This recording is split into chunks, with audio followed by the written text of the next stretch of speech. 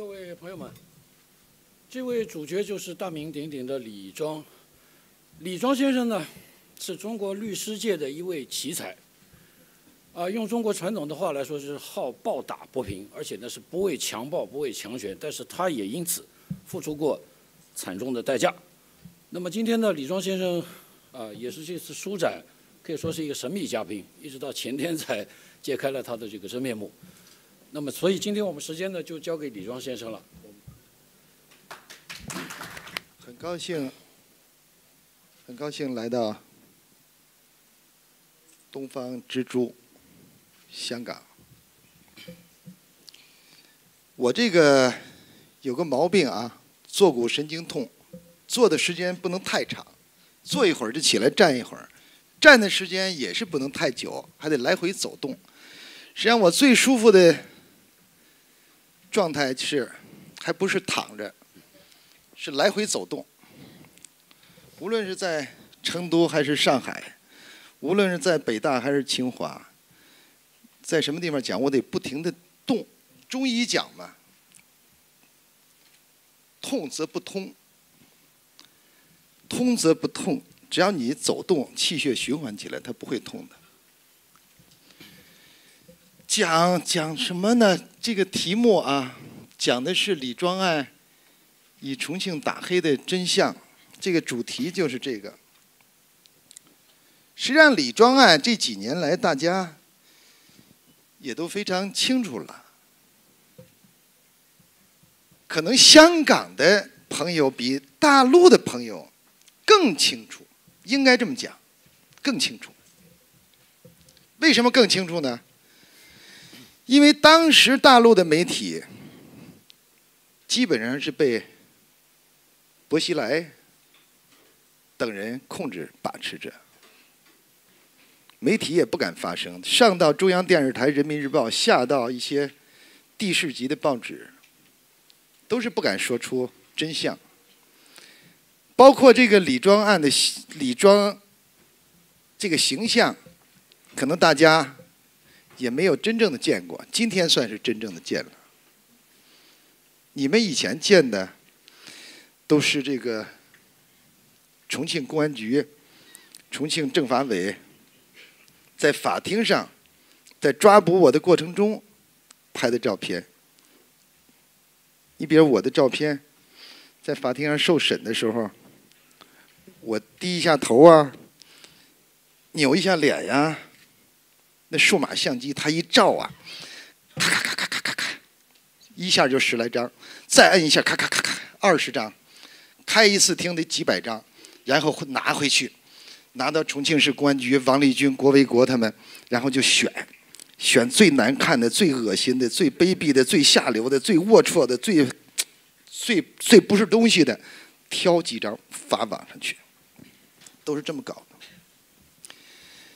这个拍照片的总策划呢，姓汪，叫汪放，汪三点水一个汪，汪精卫的汪。他是负责照相的，事后呢，在重庆还请我吃了顿饭，说李老师抱歉啊，当年给你拍的所有的对外公布的照片都是我对外发出去的。当时没办法，薄熙来、王立军就指挥我，我们选照片，选的最让人反感的照片发出去。我就哈哈一笑就完了。他请我吃了一顿重庆火锅。重庆这个事啊，我刚才讲了，这个香港的市民、香港的朋友比大陆的朋友了解的多，因为香港比较开放，起码新闻啊比大陆自由的多。李庄事件是一个偶然的事件，实际上。也有一个必然的原因。当时的重庆，零八年，王立军六月份调到重庆任公安局负责人，薄熙来是零七年去的，距离这个下一届的党代会，也就十八大，还有四年的时间。这四年要做出成绩，要打出声势，要吸引全中国甚至全世界的眼光。怎么办？那就得做出一些惊天动地的事来。这俩人呀，一拍即合，因为他们两个人都是喜欢大场面、大制作、大规模、大布景，他们俩都是喜欢这个大镜头的人。薄熙来本身就是学传媒的，二十多年前，重庆不是重庆啊，说这个大连。在大连当市长，全世界也都知道大连有一个好市长，人民的好市长，薄熙来。但是，在座的各位可能都知道，九二年、九三年啊，中国的大连市长就是薄熙来。但是在座的可能不超过十位，我问你们，大连的市委书记是谁？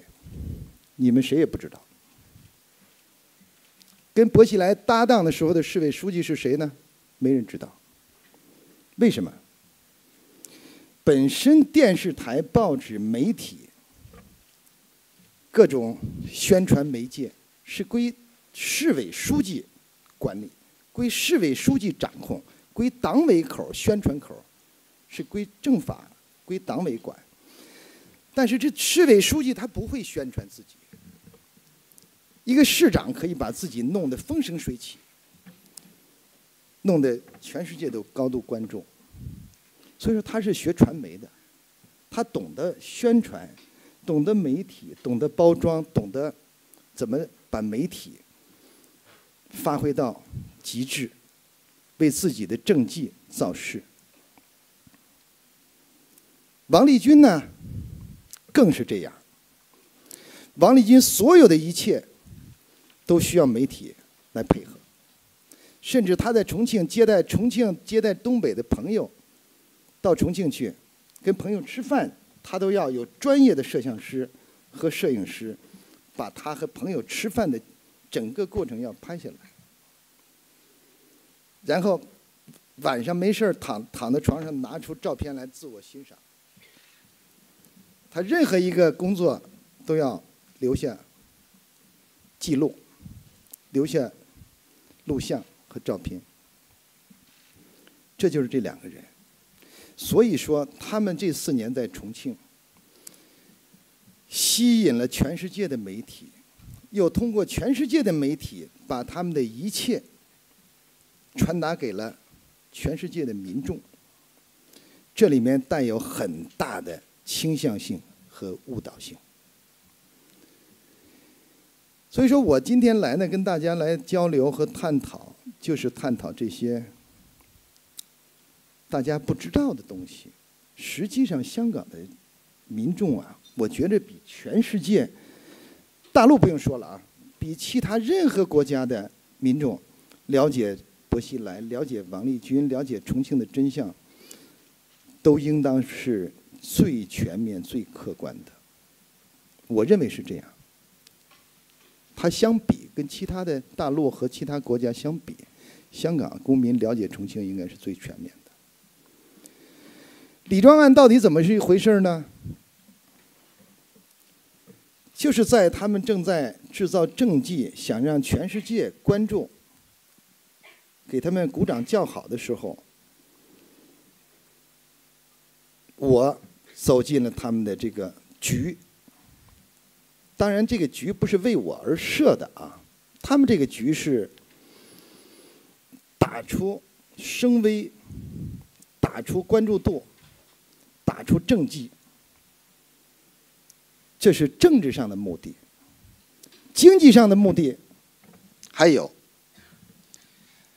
把那些有钱的人通通的抓起来，杀掉，把他们的财产分掉。分了这些财产干什么用？谁分分给谁？就是为他们的政治目的筹集资金。第二块，拿这些资金在笼络人心。比如说，给公安局的干警们三万六千多名公安局公安干警，要给他们发西装、买皮鞋。按照国家的财政计划，按照中国公安部的要求，你警察你就是发警服嘛，你怎么能发西装呢？哎，他要发。另外，你们有媒体去过没去过重庆公安局？我不知道啊。就是他的公安局的警察餐厅，可以说和香港的五星级酒店的餐厅没有什么差距，里面的厨师。都是外国厨师，服务员都是外国的服务员。西餐的刀叉都是银制的，就是你们香港的警察署也达不到这个规格。你们香港的政府的最高官邸恐怕也没有这个标准。在中国，甭说是呃其他省市了，就是公安部的餐厅也没有这标准。这些钱哪儿来的？大家可能都会问。起码国家没有这笔钱，财政没有这笔预算，民众纳税人的钱不应该往这这个地方交。王立军可以抓了很多企业家，什么陈明亮啊、黎强啊、彭志民啦、管串啦、李俊啦，什么这这这这个这个这个等等，哪个人都不是。一千万、两千万，哪个人都不是一个亿、两个亿。有的那一块地就一千个亿，拿过来拍卖，卖了以后，这钱干什么用了？我在微博上公开的说，你去问问重庆财政局，重庆的财政局这么多年了，他就没有公布过打黑四年。财政收入是多少？成千上万个亿跑哪儿去了？重庆财政局说，我们重庆打黑四年，我财的财政局那是私下的一个官员向我透露，我们就收到了九点三个亿。说这个黑社会老大三百个亿没收了，那个黑社会老大九百个亿没收了，钱去哪儿了？财政局才收到了九个多亿。连十个亿都不到。龚刚模是个什么人呢？就说我李庄，我是代理一个黑社会老大。这个人呢姓龚，叫龚刚模。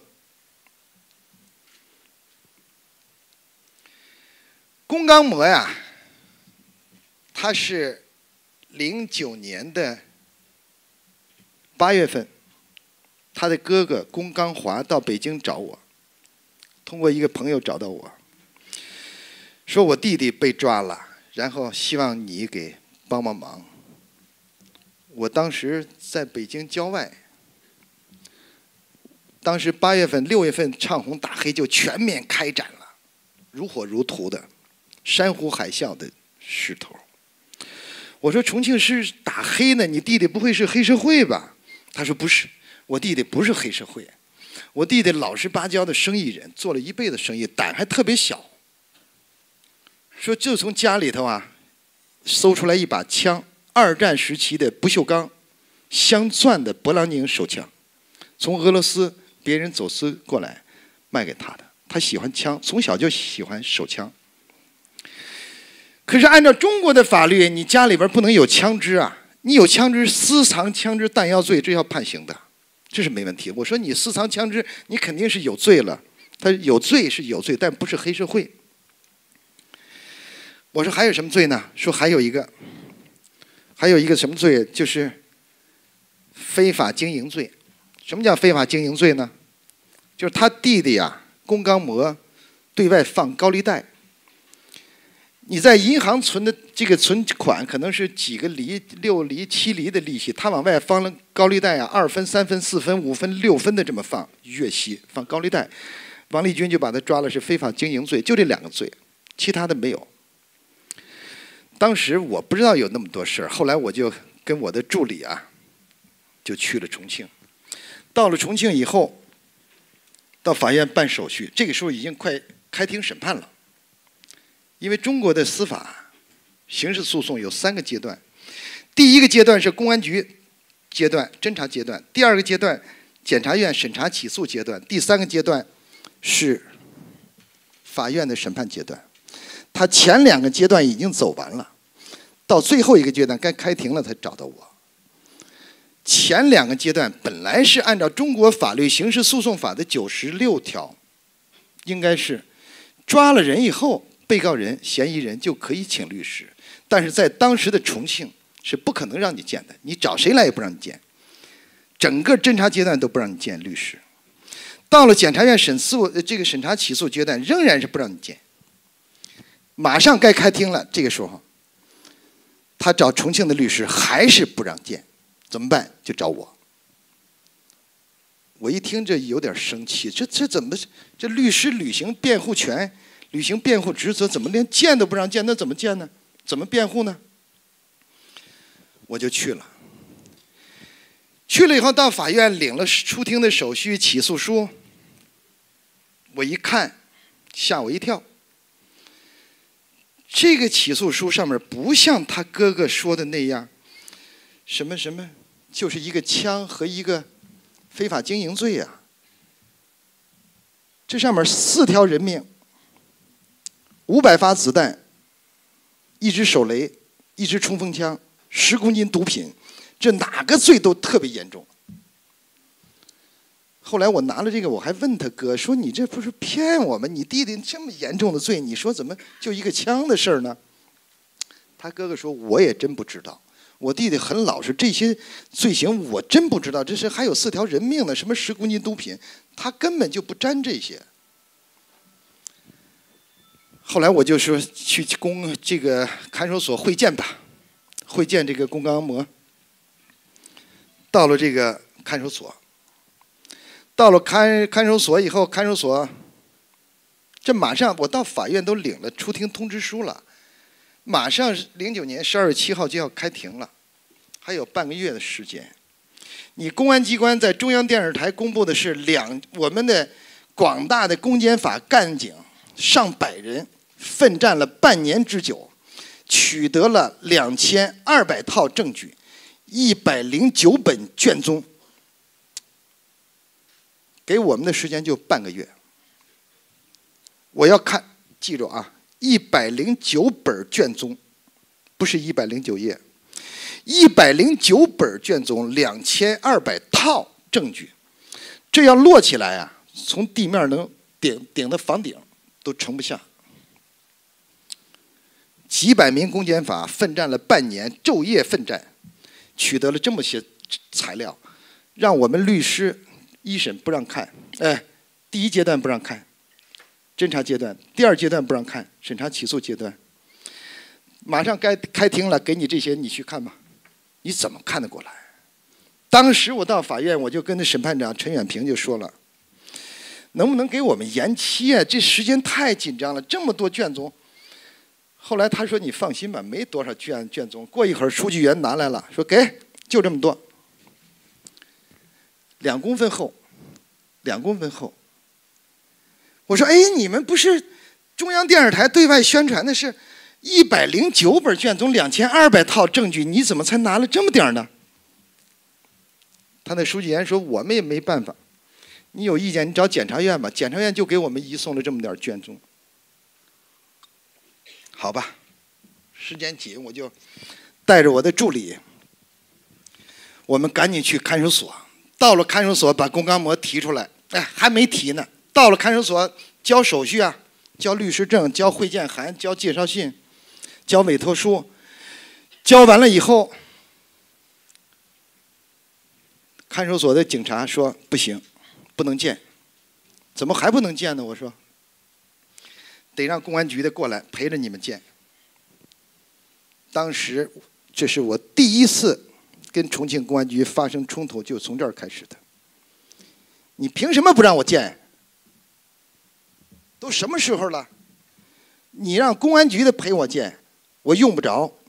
法律有明确规定，律师会见不被监视监听。他说：“你说那没用，我们这儿有我们这儿的规定。”王局长来的就是这规定，这个，这个所有涉黑案都要有公安局的陪同，就吵起来了嘛。全国各地的律师有几十个在后面，上前吵架的就我一个人，后边的人都拿手机照相的，可能就我傻，冲上去跟他们干。哎呀，吵了半天没有用。后来我让我的助理说：“你上楼把那个看守所长叫下来，或者把那个住所检察官叫下来。”他上去了，各个门都锁着，我自己又上去一个门一个门的敲。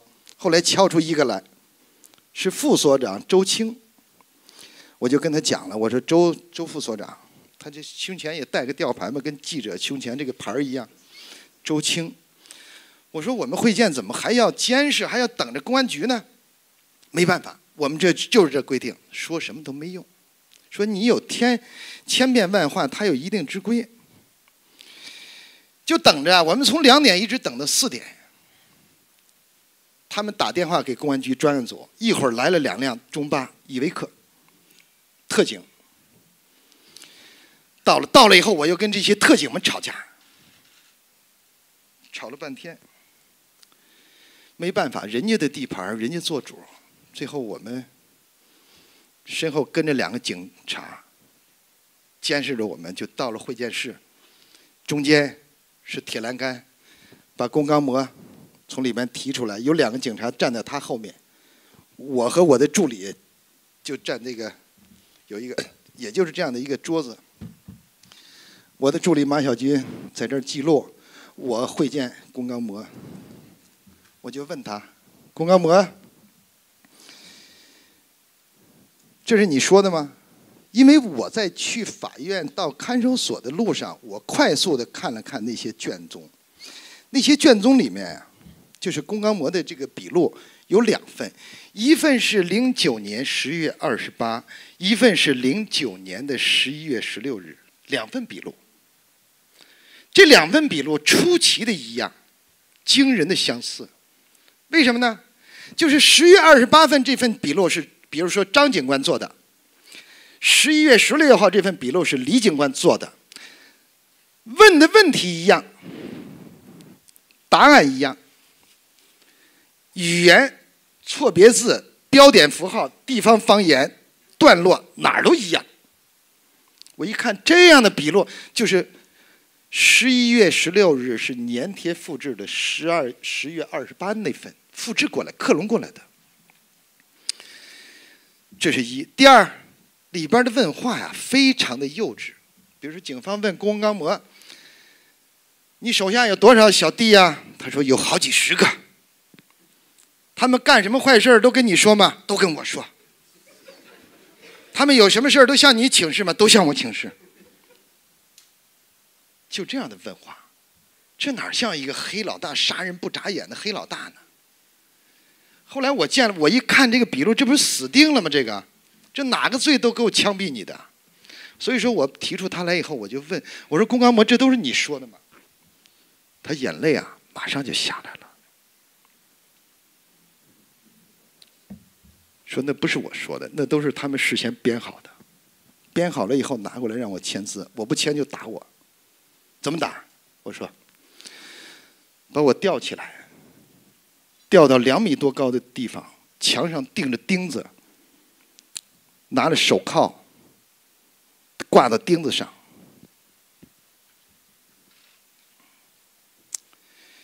这个，因为龚刚模很很矬啊，到到我这儿，也就是一米，还得顶也有一米六嘛。他很矮，吊到两米多高。我说吊了多长时间？吊了八天。我说你八天八夜要是这么吊着，这不物理性的就就就断了。他说不是昼夜不停的断，下面呢是一个电脑桌，让你的脚尖儿可以踩到这个桌子上面，脚跟儿到不了桌面，就这么吊着。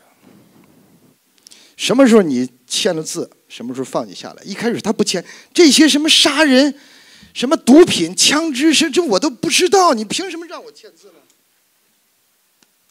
他不签，不不签就在上面挂着，大小便就下来了。到了第四天呀，大便都下来了。后来他就跟我讲，我说那大便下来了，那你那那是审讯室，那怎么审讯？那不臭吗？他说他们就把我放下来，因为八月份嘛，八九月份，重庆是最热的季节。他穿着短裤，大便就下来了。下来以后呢，审讯他的警察，一个叫滕伟，一个叫彭伟，滕，飞黄腾达的腾，还有一个彭。彭伟，滕伟，还有一个警察姓张，叫张科，科学的科，工长张，就把他放下来。放下来以后，让他用手捧着大便到卫生间去，脱下内裤，擦拭地板，之后再裸体的吊起来，裸体再吊，吊起来以后。裸体啊，一丝不挂。他们的刑警支队副支队长姓何，叫何建红。这个时候呢，他从门口过，从门口过一看，哟，这太不像话了！这个赶紧把衣服穿上。那个叫彭伟的呀，又把他放下来，放下来以后，拿那个刚才擦拭过地板的短裤再穿上，继续掉，就这么弄。这个笔录都是这么形成的，在铁山坪，重庆最著名的黑大魔窟铁山坪。铁山坪是个风景如画、非常美丽的地方，是个国家五 A 级的森林公园但是在铁山坪的大山深处有一栋楼房，那就是专门拿人体。它的牌子啊，门口的牌子是重庆市公安局。民警战训基地、战争训练基地、战训基地，他们是拿活体做战训，很多人在那儿被打，很多的冤假错案口供从那儿形成的。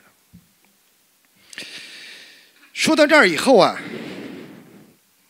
我就非常的惊讶、愤怒，加上我在这之前。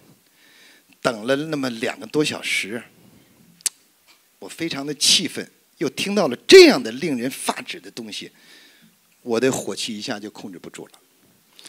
我当时就问这个龚刚模呀，搁着铁栏杆嘛，我说你手上有伤没有？他说有。我说你伸出来我看看，伸出来，两个手腕有环形的、对称的伤痕、疤痕。因为他这个这个这个吊起来以后啊，那个手铐啊，他把那皮啊都划划脱了，就结了疤了。看了这个以后，我就问这个龚刚模，我身后站着俩警察，他身后也站着俩警察，四个警察。我就问龚刚模。我说这个人你他打你了吗？这个，他看了看没有。我说这个呢？他打你没有？他说没有。我说那个呢？你看他身后还站着呢。我说那个呢？他扭头看了看，他不说话了。我一看那个人胸前吊着那个牌儿叫张科。我说你他是警察，特特警，专案组的。我说你出去吧，出去！你已经涉嫌刑讯逼供犯罪了。你是重庆打黑除恶以来最大的冤假错案的制造者，你早晚会为这事买单的。他就跟我吵起来了，说啊，你牛逼什么？你北京来的，你怎么样？这是重庆。我说这重庆，重庆也得归中华人民共和国管，重庆的警察也得服从中华人民共和国的法律。你重庆怎么了？我俩就吵起来了。吵起来以后，有个老警察就把他给蹬出去了，蹬走了。那老警察站在那儿呢，还是四个警察，把这个张科给蹬出去以后，他还是不服，他还扒着门门口进来，还还骂我呢。我们的会见就是在这种状态下会见的。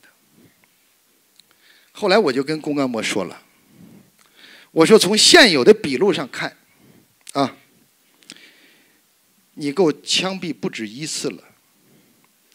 如果你要想活命，你必须把这些口供推翻。将来开庭我会问你，你不要怕，在法庭上我会问你这口供怎么形成的，你要如实的揭露出来，大胆的揭露，用肢体语言把它展现出来。你的疤痕有啊，你得让观众、让审判长、让这检察官、让媒体的律师都得看清楚啊。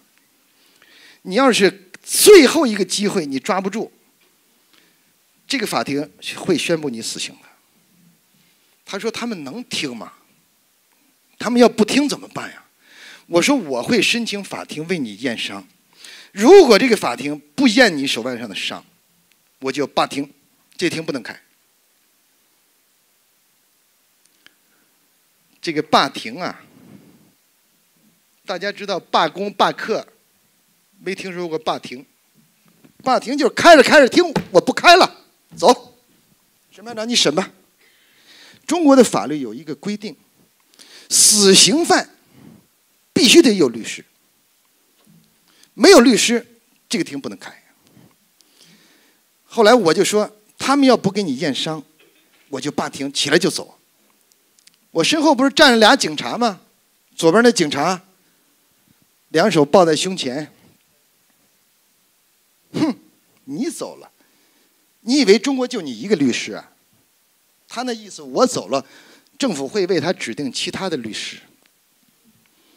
他这句话呢，提醒了我。我想，我要真罢庭走了，政府再给他指定一个律师怎么办？照样判他死刑。为了防止政府给他指定，我马上做了一个决定。我说：“龚刚模，来，你写。你在我的授权委托，你给我的授权委托书上，你再写上几个字。”他说：“写什么字啊？拒绝人民法院为我指定其他律师。”他说：“我不会写这几个字。”后来我让我的助理马小菊，我说：“你你写，写完让他抄。”我的助理写完以后，他就在那个授权委托书上抄上。这样一弄，就把法院的退路给他卡死了。不能说我让你法院验伤，你不验不验，我抬屁股走人。你指定其他的律师没用，公安模写了，拒绝人民法院为他指定，只能由我来，只能由我来。如果我要来，你就得验伤，这就把法院的退路给卡死了。所以说，薄熙来、王立军恨我呢，必须得把我抓起来。这样跟公刚模交代好了以后，我就回北京了。我还没有回北京。这是见了三次，哪一次都不顺利，都是密，都是监视。监视以后，这是到了十二月十五日，十二月十七号不是开庭吗？我十二月二号就赶到了重庆，从北京到重庆的那天晚上的最后一个航班九点多，我刚上头等舱坐那儿，我坐的是。一一 B，这个这个这个王立军啊，我刚坐好，王立军上来了，他紧跟着上来，上来的那个距离啊，他坐在一 C，就是我们之间就是头等舱中间那个过道，就跟我跟何老师，也就是这么远。头等舱，他那个飞机上的过道可能也就是八九十公分一米，他带着五个保镖嘛，我带着我的助理。他的五个保镖有三个保镖坐经济舱，我的助理也坐经济舱，还有两个贴身的保镖就坐在他身后。那是零九年的十二月二号，我们飞往重庆。我到重庆去是应北京律协的领导、北京司法局的领导通知我，说听说你在重庆啊，跟人家发生的这个争执很厉害。他们来北京来告你状来了，说你干扰人重庆的唱红打黑。我就跟领导学了学这些法西斯式的野蛮的执法审讯方式。领导说：“你这样啊，我们也相信你说的是真的。你最好去一趟，去一趟呢，跟他们好好的谈一谈，把你的想法说。”我说：“我的想法就是验伤，不验伤不行。”后来说：“我说我尽快去吧。”就是十二月二号，我就跟我的助理飞到重庆，在头等舱碰上王立军嘛。这不去了以后，就发生了三号就发生了最激烈的争吵，跟那个张科。完了之后就等着，呃，第二天，十二月二号我到的，十二月三号我跟宫刚模案的审判长，重庆一中院的这个陈远平厅长，我就跟他讲。还有李副院长，还有合议庭其他成员，我就把我的意思跟他讲了。宫刚模案有严重的刑讯逼供，你必须得给他验伤，不验伤这庭不能开。后来这个，呃，要开我就罢庭。什么叫罢庭呢？我说我李院长、陈厅长，我给你们讲个例子啊。因为我在东北啊，也是薄熙来、王立军曾经待过的地方，辽宁。那个时候他们就知道我。我代理过一个案子，叫朱立岩的案子。朱立岩也是被打的胸骨骨折，腿骨骨折，也是被打的。后来我就跟他要朱立炎的这个联系，我说你有什么证据证明被打了？现在都好了。我说去验伤去，人家公安局也不给验。他说我从看守所。出了看守所大门，他们带我去验过伤。出了大门，往右拐，开着车走个三四公里，左手有一家医院，带我进那儿看的病。我就带着我的助理啊，顺着他描述的这个方向，我要取得刑讯逼供的证据。在东北，那是好几年前了，零六年、零七年的事儿了。我带着我的助理在看守所那儿一出来，往右拐。开车走三四公里，就沿途看有没有医院，还真看到了，辽宁省灯塔市第四人民医院。我们进去到骨科呀、放射科啊、照相，就查朱立炎的名字没有。后来我把看守所的一个御医，通过朋友也给给请出来了，请到一个饭店里，我想请他吃饭，了解一下你们看守所朱立炎的事儿。结果呢，他说。我们去看病是真的，但是不能叫朱立炎，我们就叫李妍，都化名，不能用真名。啊，我这才知道，我赶紧又去那个医院找到了李炎拍的胸片和这个腿部骨折的片子，拿了这些录音和录像，在朱立炎审判的庭审当中，我给法庭出示了，审判长和公诉人。都大吃一惊，他们不知道我怎么搞到的。当时在辽宁这个案子，我是我讲的这个故事啊，就是朱立炎的故事，是说给重庆的院长和厅长听的，宫冈模案的审判长听的。我说我讲的这些，希望引起你们的重视。那天在重庆在辽宁开庭的时候，朱立岩案在辽宁开庭的时候，我就采用过罢庭。希望我们在重庆不要采用这种方法，对你对我都不好。提前给公刚模验伤，他说你怎么罢庭呢？重庆的院长、厅长、审判长，他没有见过律师罢庭的，他没见过。我就给他描述了一下，我说我告诉你怎么办啊。在辽宁，我说我去会见朱立炎，也是跟重庆一样，专案组警察就监视着我见。你监视着我见，我就不见。见了也白见，你这庭不能开。我要求在开庭前不受任何监视，正常自由的跟犯罪嫌疑人交流，给我一个机会。如果不能达到这一步，你这庭不能开。结果呢，人家辽宁朱立岩那个那个专案组啊，法法院呀，院长就说他是零六年的五月二十七号要开这个庭，我说你不能开。他说：“你说不开就不开了，我们都提前两三个月，武警、特警、交警、各县法院、区法院的法警、防暴支队。呃，电视台、广播电台、媒体领导、人大政协领领导都安排好了。我们那几天准备昼夜的审，起码得审，因为好几十个被告要审一个星期。每天中午的盒饭都联系好了，什么通信指挥组、后勤保障组、交通运输组，我们都弄完了。你说不开就不开了，我说你肯定不能开，你开了也白开。他说那不行，我们必须得开。我说好，开吧。五月二十七号开庭。那天一开庭呢，这个审判长一开庭，他他有个法锤啊，梆这么一敲，拿着这个书稿就念：辽宁省辽阳市中级人民法院今天在这儿依法公开审理以朱立岩为首的特大黑社。我在那，我说审判长，我有个事儿我要说一下。审判长，你闭嘴，等会儿再说。然后继续念：辽宁省辽阳市中级人民法院，我说审判长，我有紧急情况要报告。哎，你怎么回事？你，警告你了啊！你得服从法院的、法庭的统一指挥。辽宁省辽阳市中级人民法院还在那念呢。我起来，走走走走走，让我的助理拿着电脑去现，走走走，拿档案袋走。走了，这就叫罢庭。你开吧。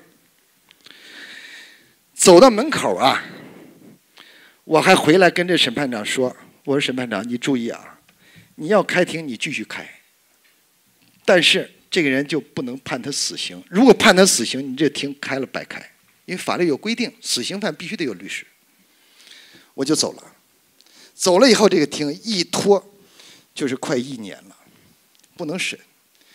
这个第二天呢，各大报纸就出来了。就说我呀，罢庭，扰乱法庭审判秩序。辽宁省当时王立军那个时候在辽宁省打黑办就是副主副主任，他们就到北京要抓捕我、逮捕我，说我扰乱法庭秩序罪。后来北京方面说扰乱法庭秩序罪得有。殴打、辱骂审判人员，持械暴力冲击法庭。我说我也没有打谁，也没有骂谁，我水平不高，你不让我见他，我变不了，我走行吧？就没有，没有抓了我。第二次他们又去北京，又找去了，又控告我说要吊销我律师执照。我也没有犯什么规，犯什么纪，你凭什么吊销我？北京那边又给他回绝了。第三次又去了。说，求求你们让李庄别管这事了，好吧？说这李庄管不管是他和当事人之间的合同、契约、合约关系，我们司法局也不能干涉呀。那连弄了三回，没办法。实际上那个时候，王立军已经恨上我了。那个时候他就知道我。所以说，零九年一唱红打黑，我一去，他一听，这家伙又追到重庆来跟我找事儿的了。实际上我不是。我是很正常的一个业务，他认为是，包括薄熙来也认为，说我这准备准备上位呢，你这来这儿搅局的，这是，我很正常的一个律师业务，他们俩都误会了。所以说我跟那个重庆一中院讲完这个故事以后啊，那审判长就吓坏了，说你要这么弄的话，那我们重庆每一个案子都不行。说你一贯都这么多年，一贯都这么辩护吗？我说是，就这样辩。他说好吧，好吧，好吧，我们马上汇汇报吧。汇报，这是十二月三号上午，我们一直谈到了中午一点多，都没吃中午饭。我说七号的庭还能开吗？我说你早点告诉我，因为十二月三号咱们谈完了，我父母啊，十二月五日过生日。我说你要是确定十二月七号不开庭，我今天我就回北京。我参加我父母的生日，都八十多岁了，十二月呃五号嘛。他说那你等吧，三号等到十一点，还没有消息。四号上午等，下午等，等到半夜还是我说听给他打电话开不开这庭啊？那审判长说还得等，我们现在还研究。到了十二月五号。还是没有开，还是没来电话。十二月五号晚上吃完饭，这时候电话响了。法院的书记员来电话，姓张叫张红，说李律师，那个厅不开了啊，七号的厅不开了。我说为什么不开？那什么时候开呢？他说另行通知吧。梆，挂了。我一听这个电话，口气都变了，另行通知吧。咵，变了，挂了。我赶紧通知我的助理马小军，我说快点收拾东西。当时在重庆的五洲大酒店嘛，一个五星酒店。我说赶紧收拾东西，这个地方不能待了，他们要动手了。我的助理还还问这这动什么手啊？我们没干什么事抓我们干干嘛？我说你赶紧收拾东西吧。两个箱子收拾完，从楼上八八楼，我记得很清楚，我们住的八零幺，一个套房嘛。进去一个客厅，一边一个卧房，我们俩住的一个套房。收拾东西，开着龚刚磨的哥哥龚刚华的那个沃尔沃大富豪车。他也吓坏了，说要抓律师，他也不知道怎么回事，就倒车呀，就怎么就倒不出来了，吓得手忙脚乱。我说你赶紧下来，下来，下来。他下来，我上去开，开着一加油门，我们就上了成渝高速了。从这个重庆到成都的高速公路叫成渝高速，一路狂奔，因为当时的重庆的江北机场不敢去了。你从机场走，肯定把你扣住，抓住。我们上高速，从成都绕到北京回去。上了成渝高速以后，我的电话就一个劲儿的不不断了。各大媒体因为这个龚刚模案是重庆打黑的标志性案件，全世界的媒体都关注着这个事儿，都知道有个北京的律师来这儿说。必须要验伤，不验伤这厅不能开，这消息就出去了。他们就打听这律师是谁呀？是李庄，电话是多少？就到处采访我的。我就一边开着车，这电话就一个劲儿响，我也顾不上接了，赶紧跑吧。所以我的撤退的路线，后来啊，王立军撤退的路线和我是一模一样，他也是。他也是学我驾车上高速公路，从重庆到成都。但是呢，我住的凯宾斯基酒店，他直接就进了梅林馆了。我俩的目的地不一样。但王立军要晚跑一天，他也彻底完蛋，命都没了。薄熙来肯定要把他干掉。所以说，重庆这些年发生的这些事儿啊，到现在为止，重庆，我写了一本我写了一篇文章，叫什么文章呢？题目叫《用二八规则透析重庆现象》。二八规则透析重庆现象。二八规则是什么意思呢？二八黄金线。因为有人类社会以来，它就有一条二八线。比如说，空气中百分之二十是氧气，海水中的百分之二十是盐分。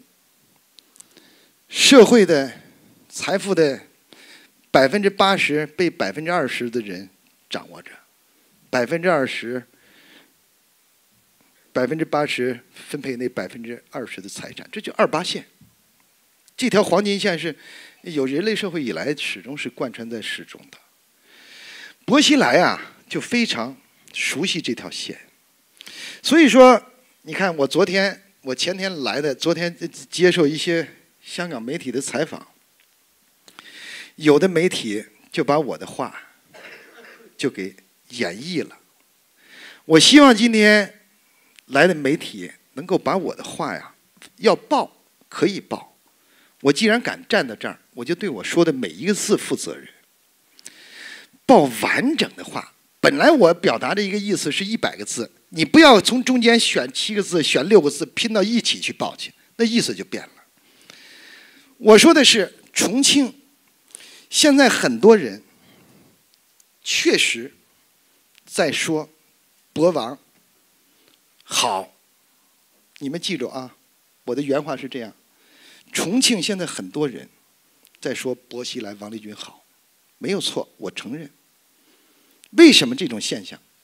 我用二八规则来透析它，来解剖它。怎么解剖？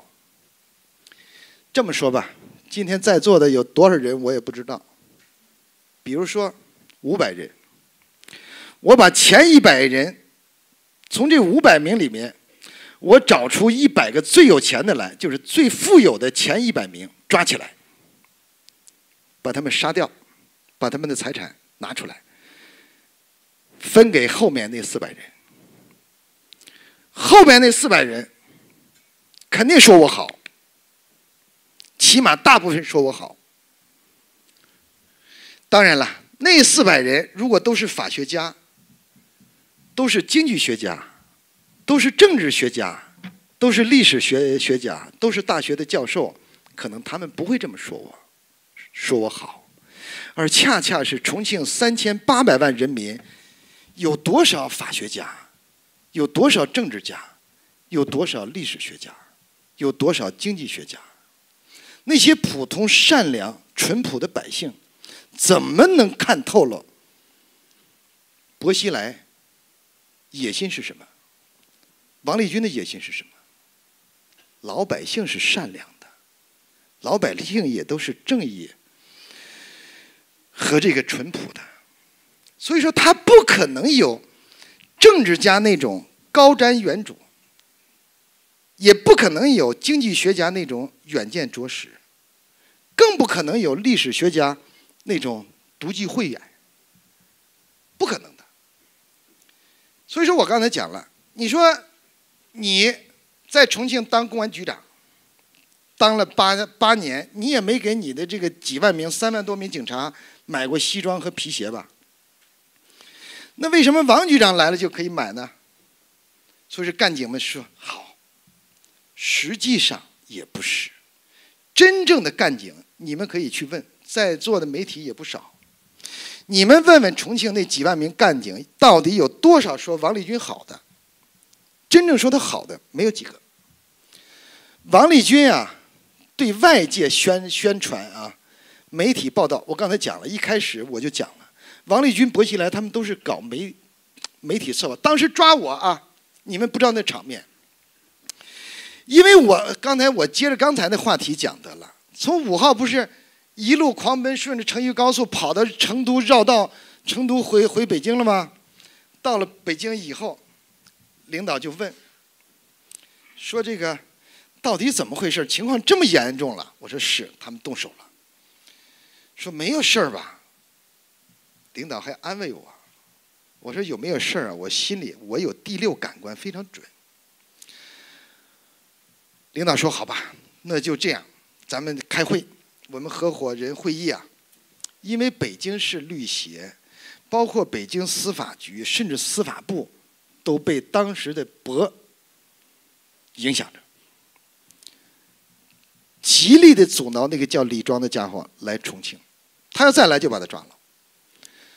当时呢，这个我三号跟他们吵完架，五号开完庭，我跑了以以后啊，六号早晨起来。郭维国，你们知道吧？就王立军从东北调过来的那个副手，重庆公安局副局长，后来跟博古开来一一起策划杀尼尔英国人尼尔伍伍德那个副局长，在合肥被判了。我五号走了以后，他六号就把龚刚模从看守所里调出来，说：“龚刚模，给你个机会，立功的机会，想活命吗？那谁不想活命啊？”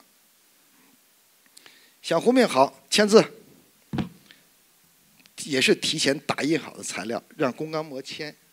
签什么字呢？就是举报李庄，你的律师交给你编造、刑讯逼供的事儿。龚刚模说：“这我怎么能这编造？这个我不能写这个，给脸不要脸是吧？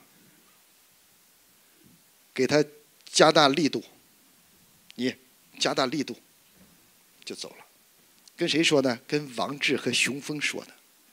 王志也是王立军从东北锦州调过来的，沙坪坝公安分局的局长。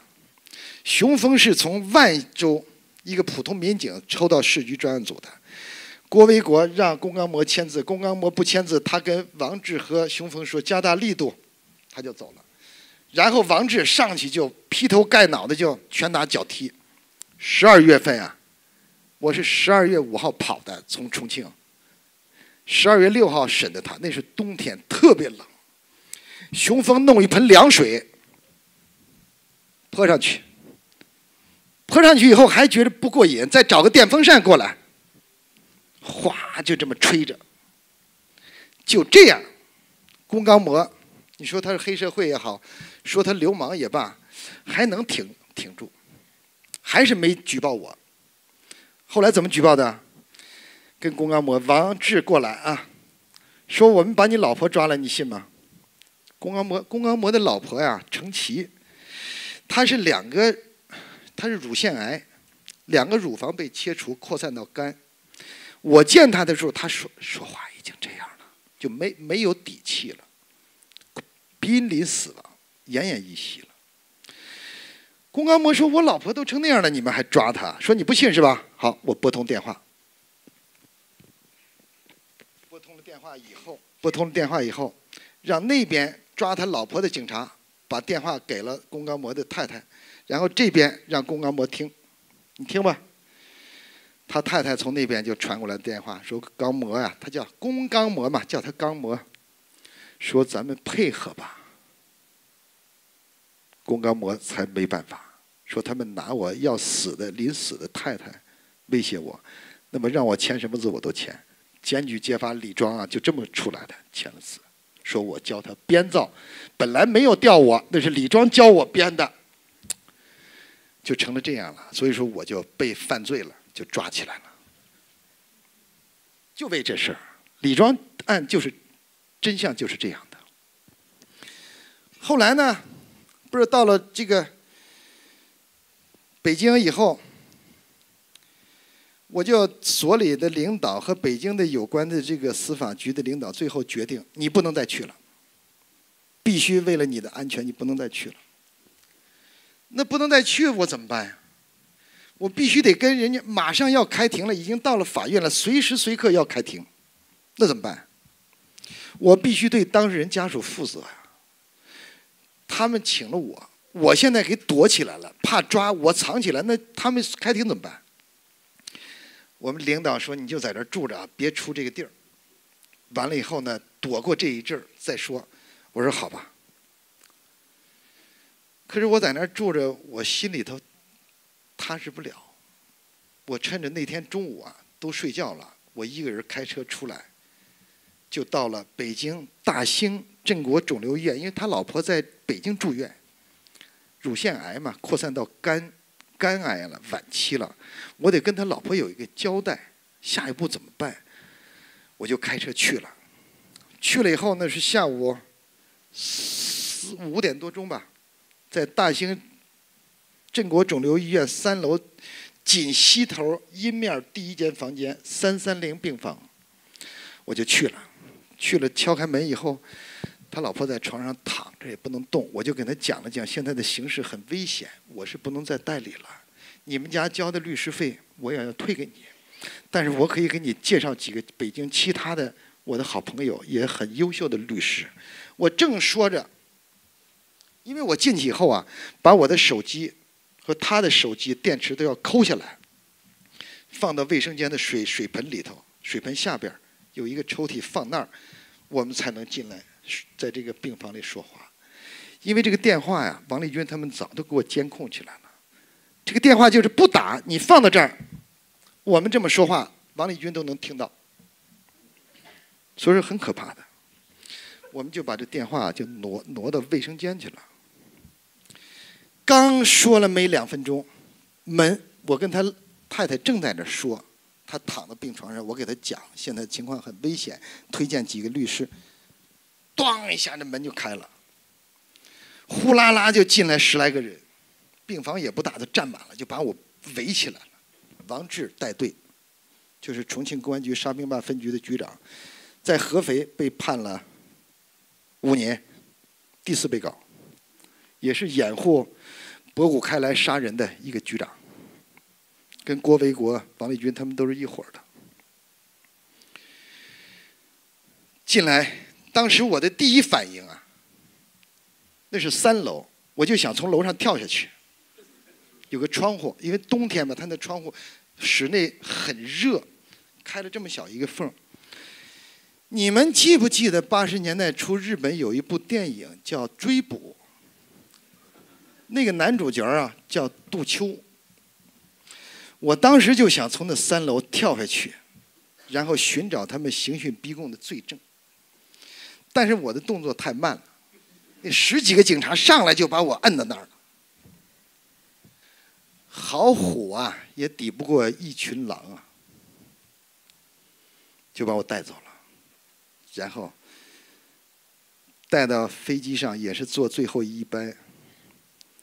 我听他们那个王志局长抓到我以后，兴高采烈的马上向重庆报告，给王立军抓着了，抓着了，抓着我了，押到机场，然后上了飞机，后三排全是重庆公安局的，飞机最后啊三排全是重庆公安局的。他们一上飞机，要饮料啊，要咖啡啊。我也当时很热，那机舱里边很热。现在网上有我的照片，穿着皮夹克。哎呀，热的我就浑身上下都湿透了。完了以后，我就说我想脱了这个衣服行吗？这这这这太热了。那两个警察一边一个，卡着我死死的。我说你能到了飞机上了，都最后最后这一排了。我说你放开我，我让我是放松一会儿。他说不行，这我们规定动作，就在后边。两个半小时一直就把我难受坏了。后来我说我喝喝杯咖啡行吗？因为我知道我去了以后肯定我睡不着觉。我说喝杯咖啡提提神行吗？我说这个小姐来给我来来一杯咖啡。那空姐马上要给我倒。王志说：“一挡，说没咖啡了。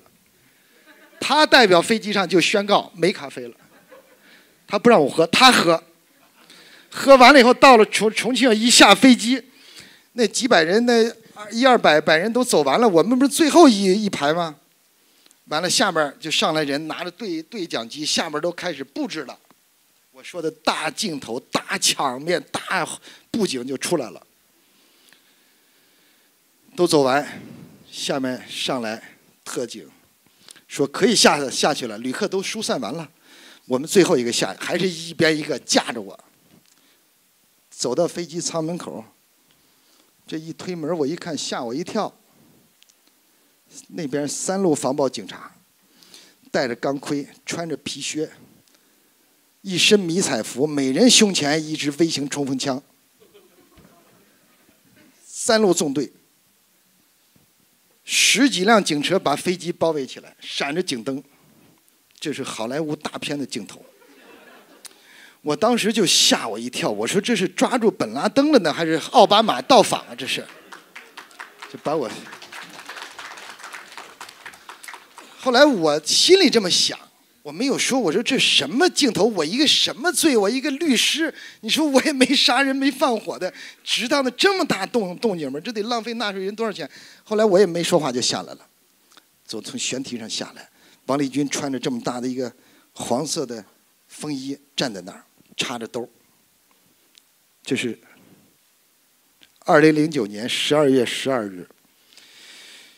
西安事变，张学良抓蒋介石也是发生在这一天。双十二事变吧，是张学良在西安抓蒋介石，也是这一天。王立军在北京抓我，都是十二月十二号。见了以后，说李壮，我们又见面了。他说的又见面是十天前我们在头等舱邂逅，说李庄，我们又见面了。我说是不是第一次？但我相信也不是最后一次。你不要认为你那张网我们撕不破。我说我有什么网？我就知道有一张法网，法网恢恢嘛。我们重庆打黑除恶的决心是任何人阻挠不了的。我说我双手赞成打黑，但坚决反对黑打。我这手还一一抬，那那警察砰就给我背过去了。他不让我指手画脚的。我说你这是真弄这么大场面，这干嘛呢？这是抓住这是奥巴马到访呢，还是抓住本拉登了呢？这得浪费纳税人多少钱呀？我们任何一项工作都是有成本的。我说好好好，那我当你们的成本。然后他跟王志说：“你们开始执法吧。”王志上来，咵，给我戴上手铐，押上车，押着我往上走。在我上车门的那一刹那，王立军嘱咐王志：“他可是一个懂法的人，提醒他们说这家伙可懂法，你们可不要胡来。说他可是一个懂法的人。”王志明白明白。现在想起来，王立军这句话救了我，就是提示他的手下不要胡来。这个家伙可是懂法，你不要拿出对付黑社会、对付流氓那套给他再吊起来再打，那就要麻烦了。所以说，他们这整个我在重庆的五百四十八天呀，对我非常客气，非常文明。当时审了我，十二月十二号弄到重庆就半夜十二点了。然后从机场到看守所几十公里，全程戒严，每一个路口警灯闪闪烁，防暴警察头戴钢盔，手持微型冲锋枪，整个那些那就比奥巴马来了一级警卫还要严格，就是给你一个宏大的场面，来打击你的心理，让你知道你犯下了滔天大罪。我当时觉得挺可笑。因为我遇见这样的事嘛，没有这么大的动静。因为这么多年律师，很多公安局啊、检察院经常抓我关个几个小时，关个一两天的，我也习惯了，所以说也都适应这种环境了。当时他们去北京抓我，我还说呢，我我还不服呢，我说你们怎么把我抓过去，还怎么把我送回来？我还跟他们吵。我不知道他们这回玩的跟我玩的是真的，真把我判了。真给我送到监狱里去了。所以呢，到了这个看守所以后，第一天，第一次审讯，第一个人说的第一句话，就是王志说的：“李庄，告诉你，你就是零口供，我们也要把你送到监狱里去。大三长已经开会研究定了，什么叫大三长？公安局长、法院院长、检察长。”就重庆的公安局长、法院院长、检察长，大三长，因为他有三级：高级法院、中级法院和基层法院。他说的是大、高级的那三个长，不把你送到监狱里，我这身警服就不穿了。这是王志开场白嘛？当时我不服嘛，就跟他们吵，吵了半天也没有用。所以说，从抓我十二月十二日十二日抓我，第一天抓我，第二天逮捕，第三天发起诉，第十八天开庭，创造了中国法治史上最快的重庆速度。一月八号就宣判，两年半，宣判两年半。当时审判长还问问我上诉不上诉，我肯定上啊。我不上诉，中国十六万律师也会为我上诉的。我当时是这么说的。后来呢，这个判两年半，两年半我在法庭上可能有部分的镜头，那何亮亮老师也解说过，你们现在网上可能也有部分的片段视频，当年的，但是他们不敢放完整的。整个从早晨九点一一直审到半夜，第二天凌晨一点，十六十五六个小小时，他不敢播放，为什么？因为在法庭上，我说的这个审判长和公诉人是哑口无言的，他们说不过我的。虽然他们找的是全国十佳、重庆十佳两个最佳的公诉人，但是他们没有理，没有证据。辩论他们是不行的，所以说这个视频到现在他们不敢放。就这种情况下，就愣判你两年半。我后来回到看守所以后，这是二零一零年一月八号就宣判两年半。我说你们怎么不判我三年啊？因为最高刑是三年，但是就两年半就判了。判了以后呢，我就琢磨一审那种强烈的对抗。那种讲事实、讲道理、讲程序、讲法律、讲条文、讲讲什么没有用，就判你了。你有千变万化，我有一定之规，必须把你送监狱里去。所以在这种情况下，我必须想一个策略，就是你什重庆当时是疯了，你什么都不讲了，你什么都不讲，我再给你讲法律还有用吗？那不对牛弹琴吗？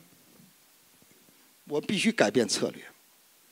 所以说，在李庄第一季的时候，第二审、第一审强烈的对抗，判两两年半，我一看什么也不讲了，那我得换个套路。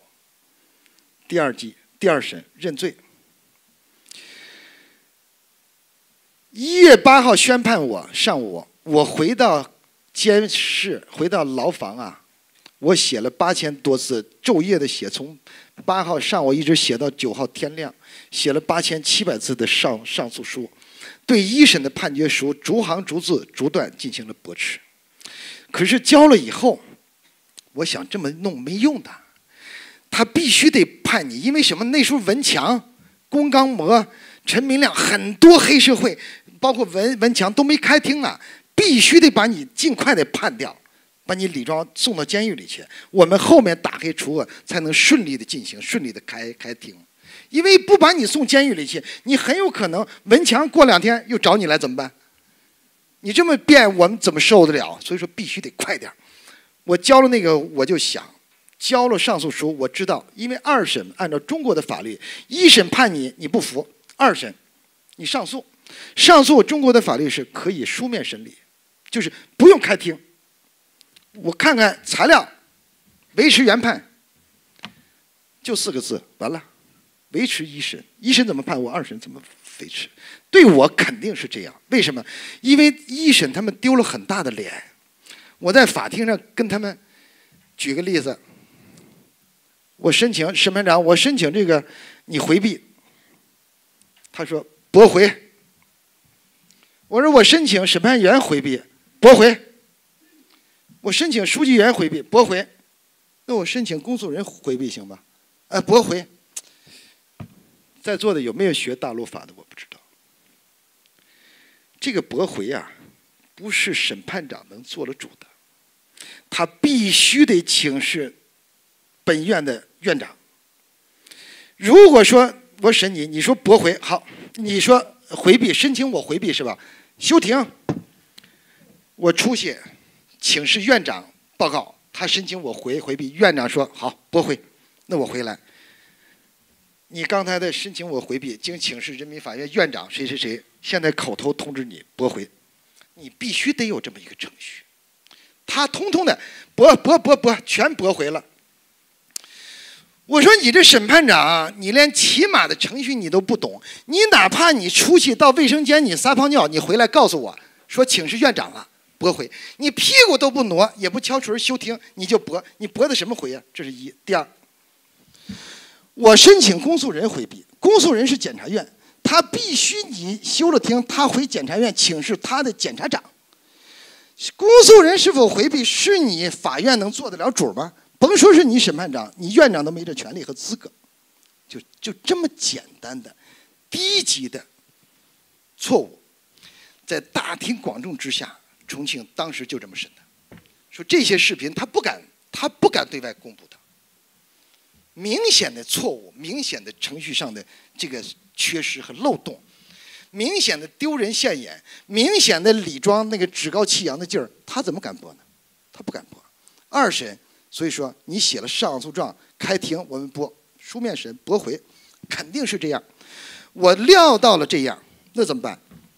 两年半，我在里面就得待两年半嘛，我不甘心啊，必须想个策略，什么策略啊？我的跟警察，我跟龚刚模会见的时候，跟警察那个过程啊，录音录像我都录了，证明警察就在旁旁边。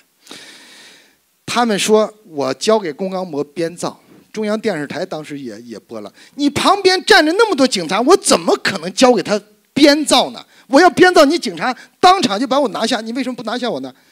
人家王立军说了，你回家的时候我们旁边没警察，实际上我的手机里面都有。录音录像的，我就想早点，因为我从病房被抓走了，龚刚模的太太已经奄奄一息了。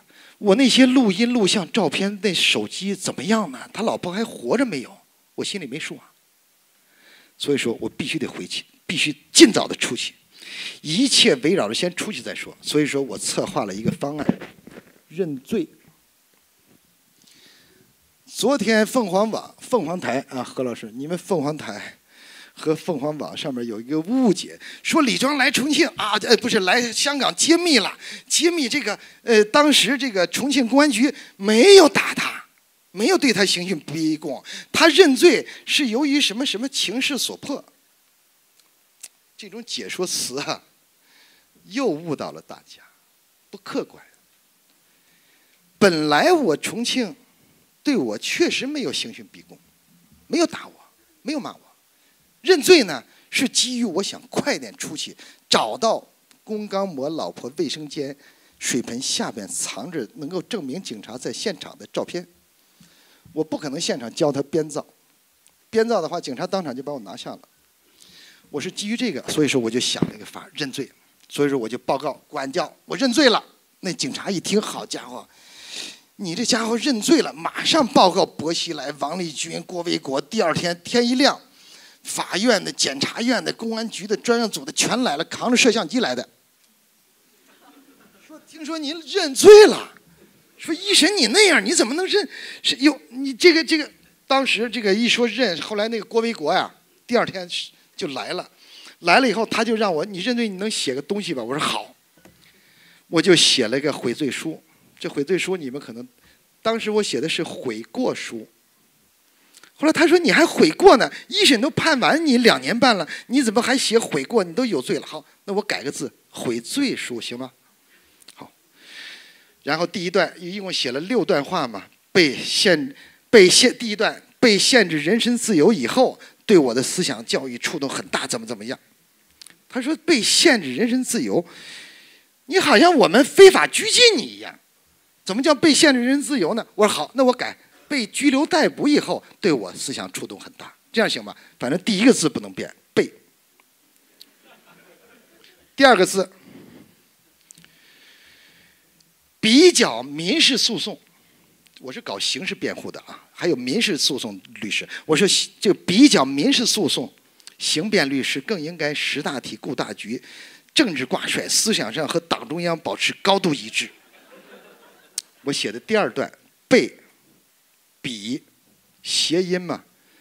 第三个字，认，认识到我自己的错误的严重性，我感到非常懊恼，被逼认。第三个字，第三段藏头诗嘛。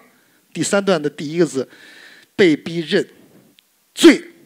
第四段第一个字，罪行法定是刑法的一项根本原则，被逼认罪。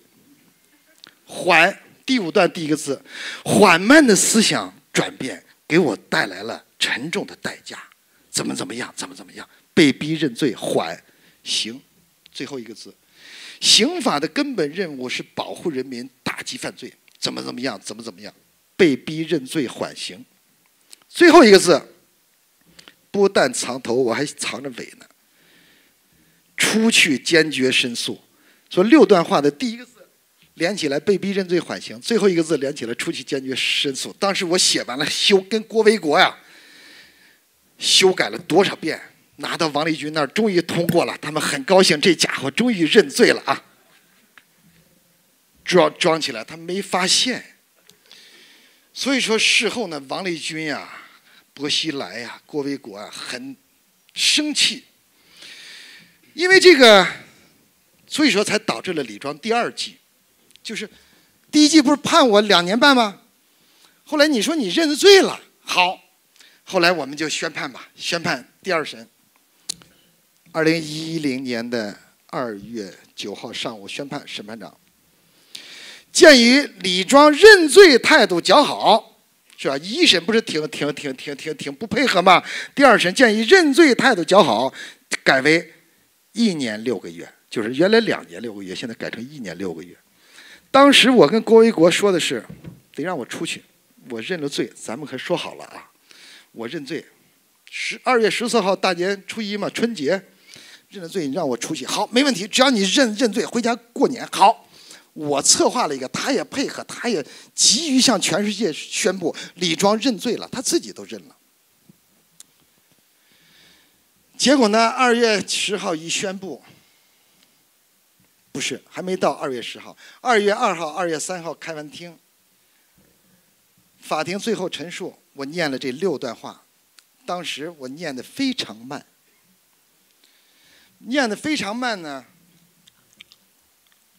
有的一个记者叫湖南的《潇湘晨报》的记者，姓倪倪志刚，他二月四号凌晨三点多在网上就破译了，说：“天哪，李庄的悔罪书是藏头诗。”然后世界舆论一片哗然，然后这个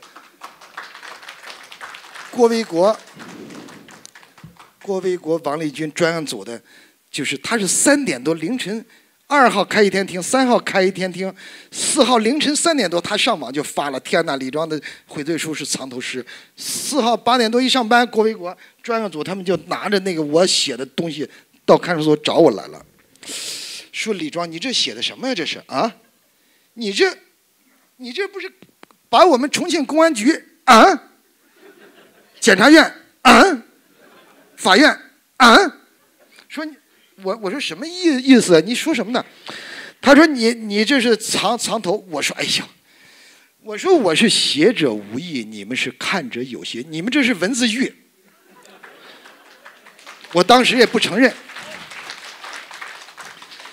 我说你把这个《人民日报》你给我拿来一张，你再给我一个小剪刀，我从上面剪贴下来，可以剪贴成任何反动标语。拿了一个，我说我那随便写的，谁让你们怎么这么串起来的？那谁这么串的？我说我没那意思。他说那你能不能再重写一个？我说都听都开完了，我还重写就没必要了。反正死活是不给他们写。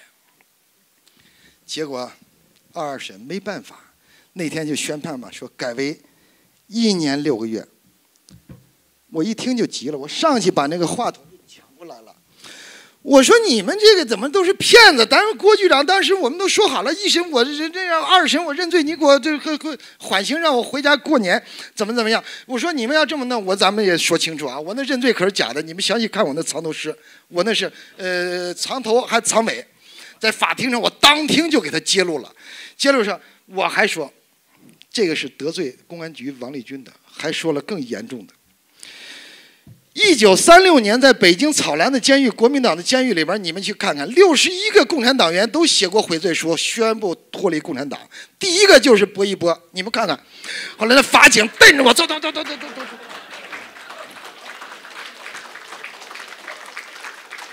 法警啊，法警说到这儿，就把我从上面。好几个法警拖着我就拖出去了。我说：“你们好好看看，三六年那个六十一个叛叛徒都第一个就是薄一波，那不是悔罪，那是斗争策略。”当当就给我蹬出去了，不让我说了。这个时候的薄熙来啊，薄熙来在市委办市委书记办公室有一条专线，他看着是现场直播。当场就把茶杯就摔了。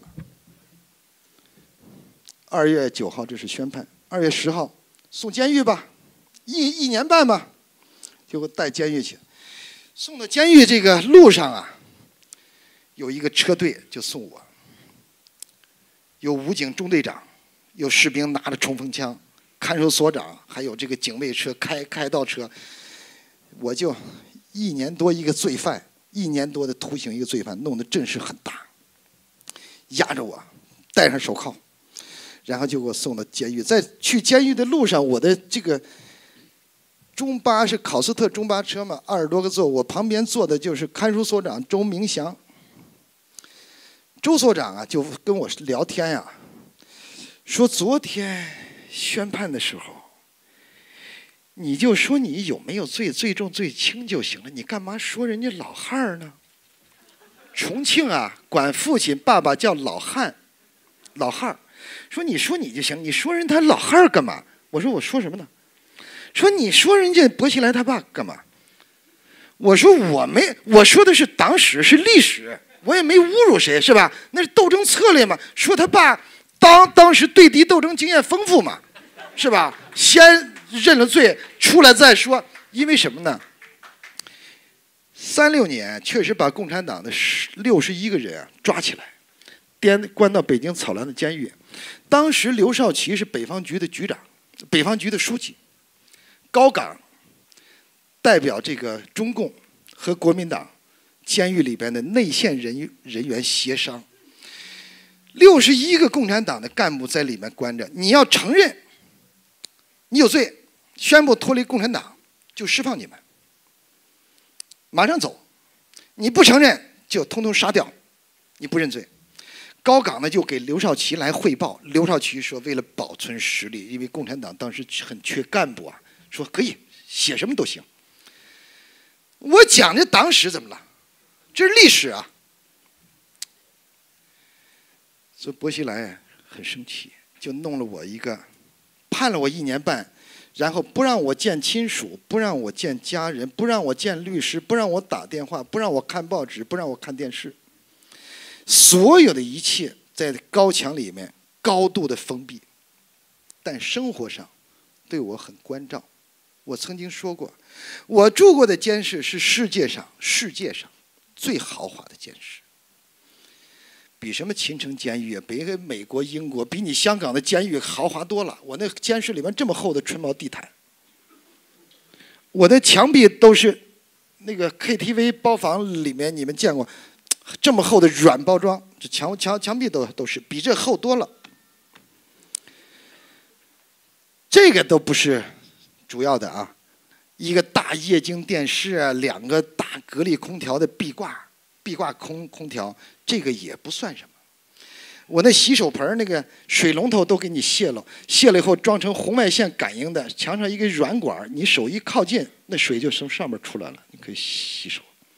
淋雨也是，还有更高级的，坐便器都是软包装的，陶陶的坐便器上面包这么厚的软海绵，这么厚，坐上很软，就是你想死，你想撞死都不行。到处都是软的，所以说严密防范着我他们。然后我的监视旁边就是我的私人医务室和厨房。整个看看守所就是像这个这个演播厅这样啊，它是一圈全是监视，这一圈全是。我在这个角，就是关文强的那个屋，把文强枪毙了以后啊。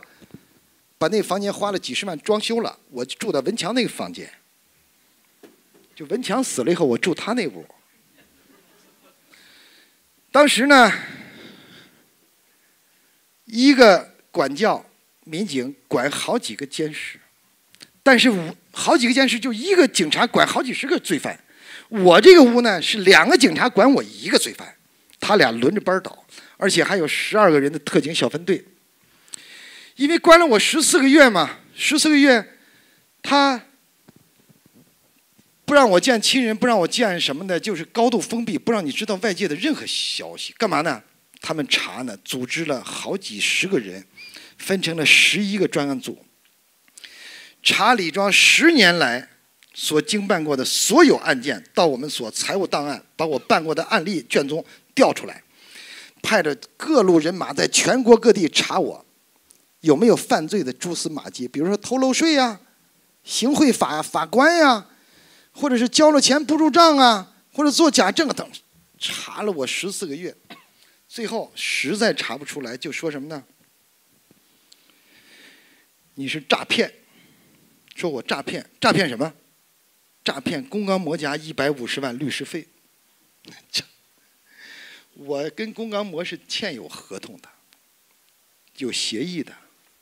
而且那个钱，他也没给我，直接打到我们律师事务所。我们律师事务所交完税以后，给他开税务局的正规的票据。我怎么成诈骗了呢？郭维国就说：“因为十四个月了嘛，这是二零一一年的三月二十八日，十四个月跟外界失去任何联系。那一天放风。”所长把我从监室里叫出来，我刚坐到那儿，郭维国进来了。进来以后就说：“我说，哎，郭局，我老远一见他，他他说你等会儿啊，等会儿他过来了，过来把我叫到屋里，把门关上，任何人，看守所长、副所长都，因为看守所都是他的下级嘛，他是局长嘛，不让进。进来以后，李庄，你可把我害惨了。我说什么事？你弄得我十四个月谁都不让见。”你那藏头诗啊，让王局长把我骂得狗血喷头的，就是当时我给你修改怎么弄，怎么竟然没发现？说我们公安局在你这儿丢了大脸了，再加上你说那个六十一个叛徒的事儿，薄书记很生气。我说那你得让我见律师、见家人啊，你不能这十四个月什么都不让我见。哦，不让见是不对的，怎么能不让见呢？不过也快了嘛，呃，你将来以后呃判了刑，住了监狱。你就可以见监狱就规范了，每个月都可以见。我说我这十四个月都该出去了，怎么还得判判刑啊？啊，漏罪嘛，你不是那个诈骗吗？你不是还有一个罪吗？诈骗人一百五十万吗？啊？我说我那一百五十万成诈骗了。我说郭局，看起来你们重庆是把不打算让我活着出去了。你转告他们。如果你们真敢按一百五十万起诉我，我一头撞死在法庭，你信吗？他说：“哎呀，不要这样嘛，你还有父母嘛，进监狱以后好好改造，争取立功，还能早点出来嘛。”我说：“你得了吧你！”操！哎呀，就这样。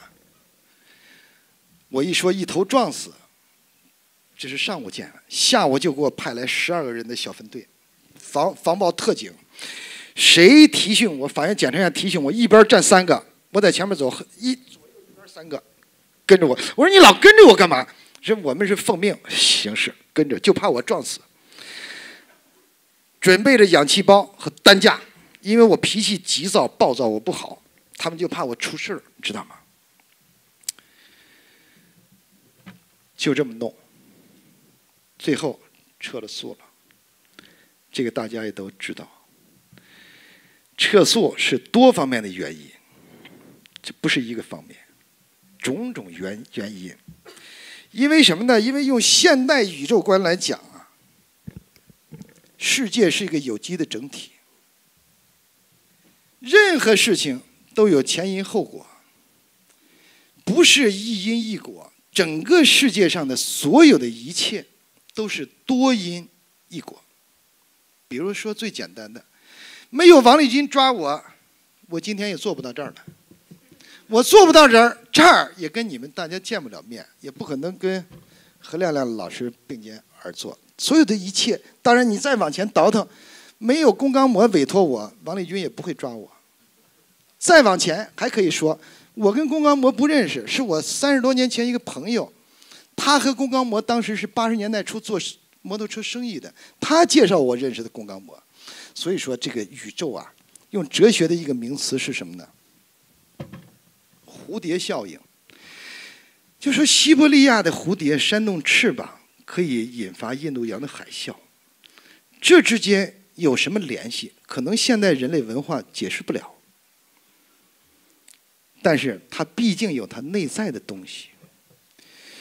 时间的关系啊。我不可能讲的太多，因为写了好几十万字的书啊。实际上我四月份就脱了稿，但是始终呢在跟编辑在段落调整上啊，老是没有最后定。我讲的这些故事啊，在书里面都有，将来有机会的话，大家可以看到。本来想再出个什么香港版啊，出个什么的，但是这回香港图书节没来得及。今天咱们就说到这儿吧，行吧？下回有机会，咱们再说第二季。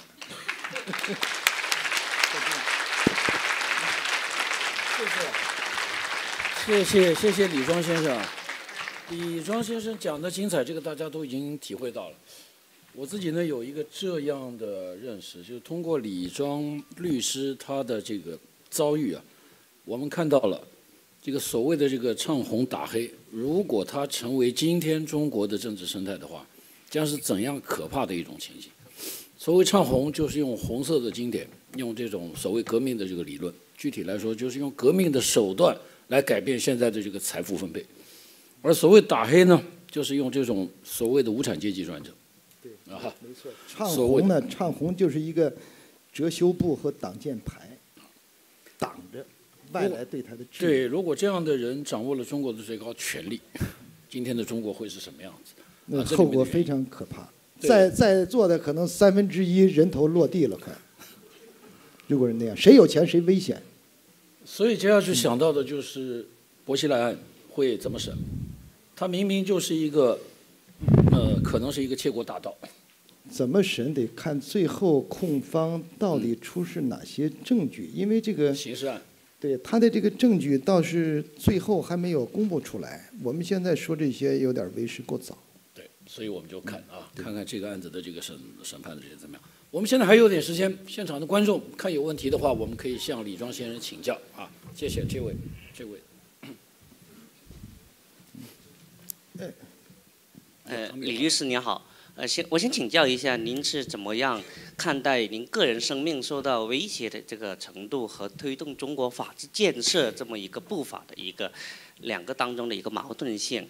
然后我想请问一下啊，再有一句话，不是在中国内地有句话就叫文天祥的一个人生自古谁无死，留取丹青照汗青吗？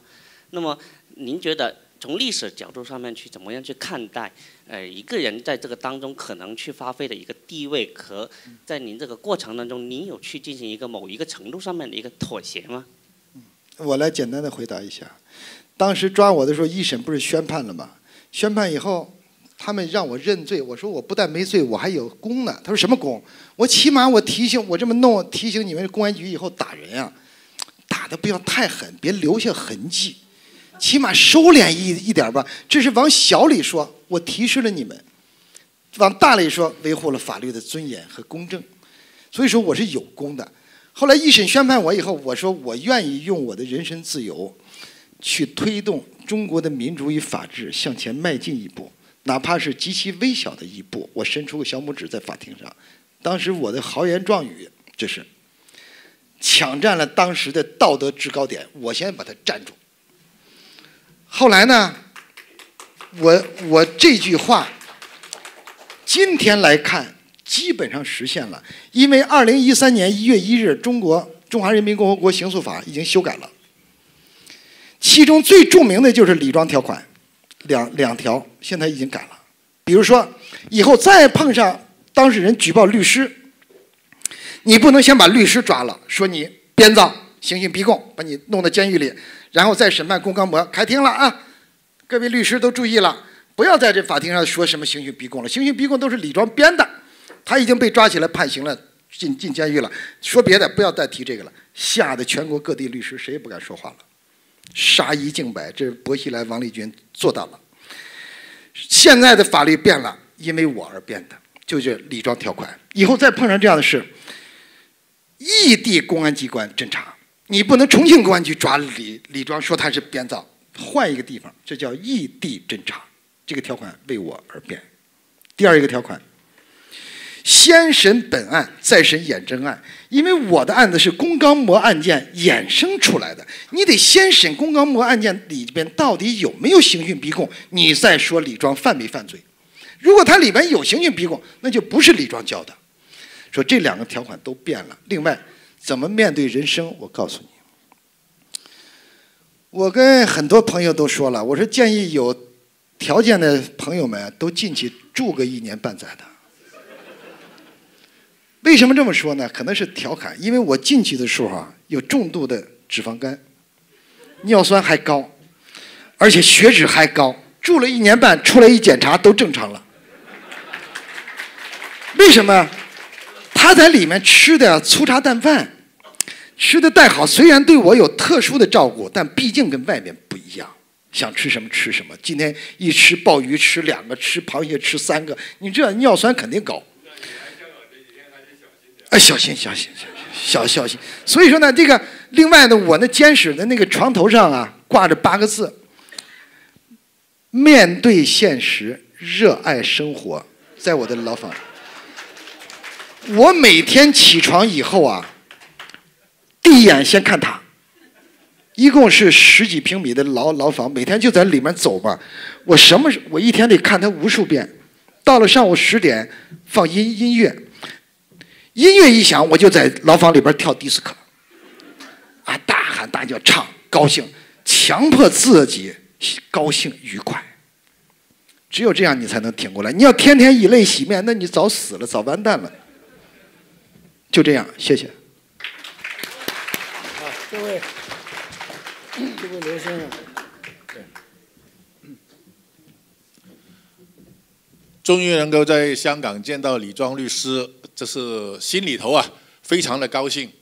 因为三年多以前，当这个薄熙来这个如日中天的时候，我曾经在我的报纸的专栏连续写了六篇文章，炮轰他的唱红打黑。您是哪个报的？啊，《东方日报》啊，东方啊，这个的呃，我在那个旅游专栏，当时，这个我觉得，我觉得那种啊，用政治运动、群众专政的这个手段来解决改革开放这个呃带来的一种社会矛盾啦、弊端啦等等了，完全是逆这个改革开放的历史潮流而动的，所以呢，就我当时是炮轰，但是今。当当时那个李庄的案来讲呢，就是在唱红打黑的大环境里头的副副产品嘛。问题是今天，今天最近那个内地啊，这个提出了所谓的七个不准讲，七个不准讲当中最后一个是不准讲司法独立。如果这样的是这个这个思路的来讲呢，跟唱红打黑有什么区别呢？都是左的一套嘛。如果这个样子呢，李庄案了不会是最后一个啊。我想让李庄律师来。评论一下这样的一种不准讲司法独立的严重效果，谢谢。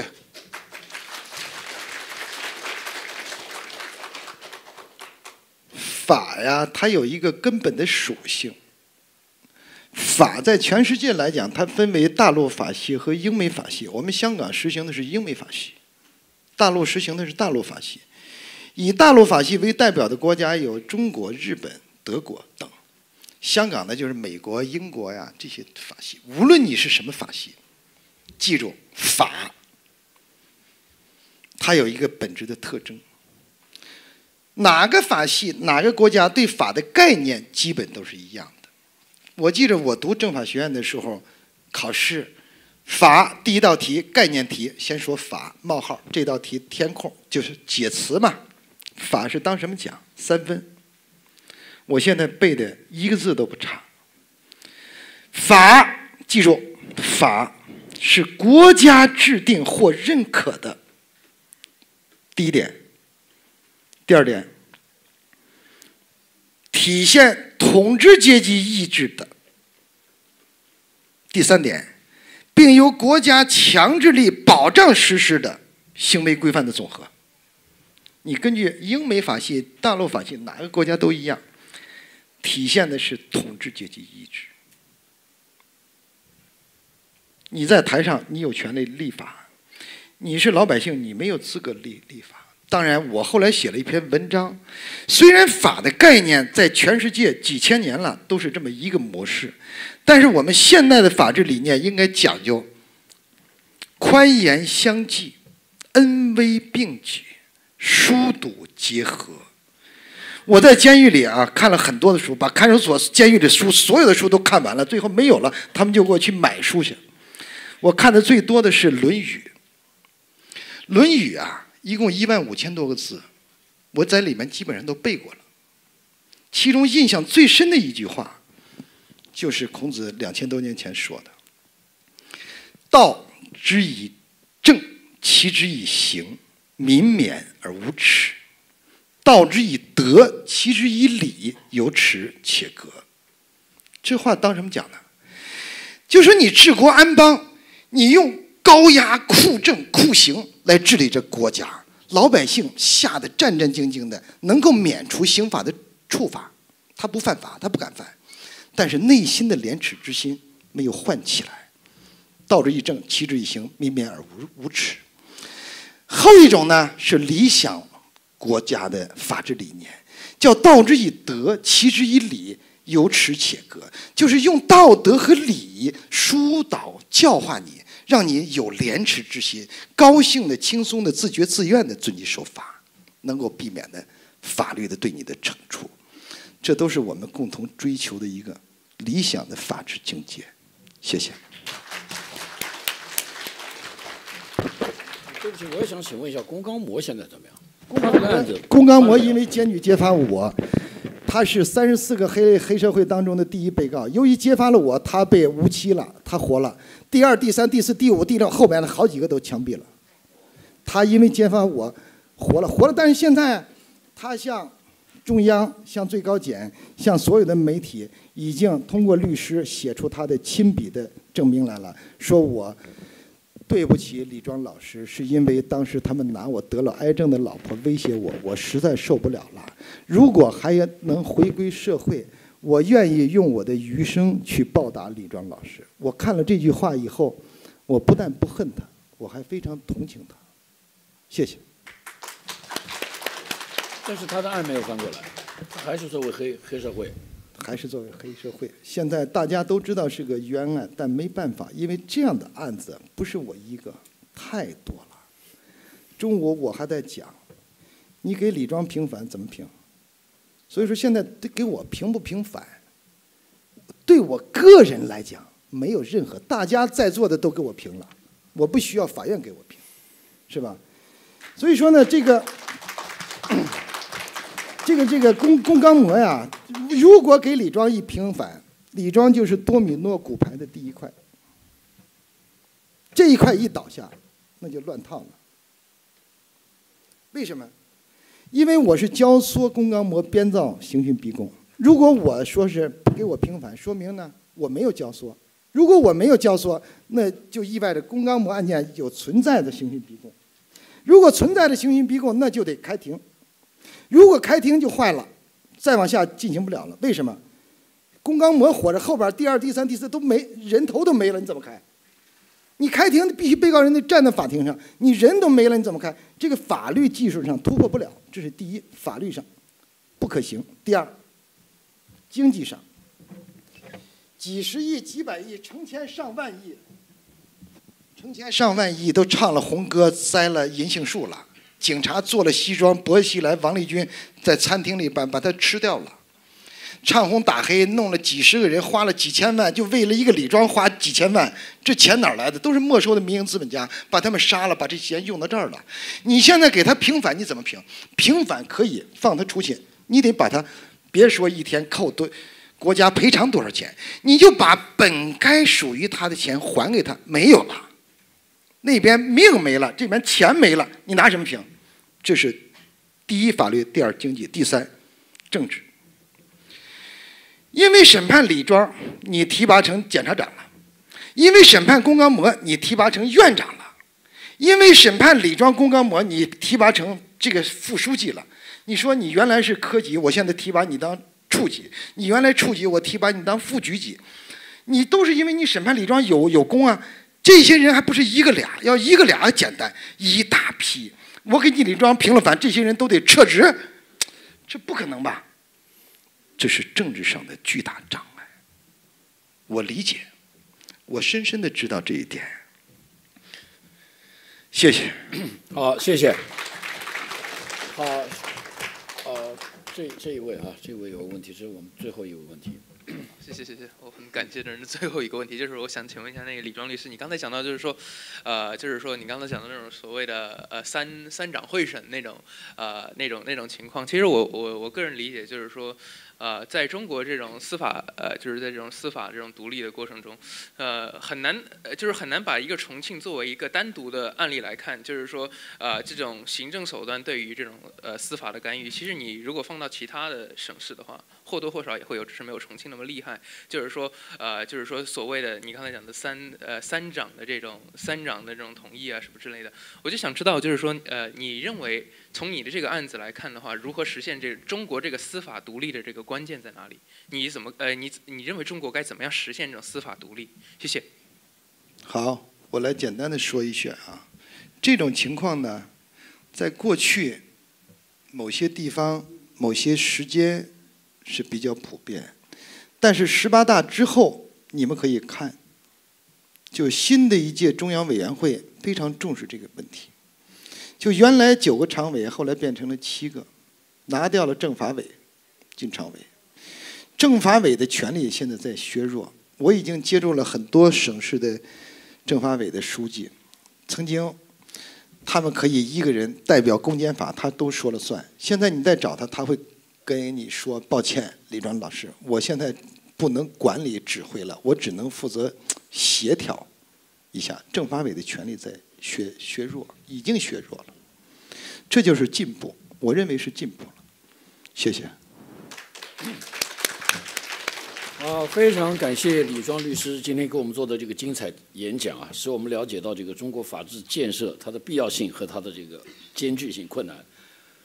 也非常感谢我们在座的这么多朋友啊，这个自始至终这个非常精神饱满的在这里听这个演讲，而且我们有互动。那么最后呢，我们主办方贸发局他们有礼物要送给，有点这个纪念品要送给李庄律师。哎，先是献一个花，嗯，献花。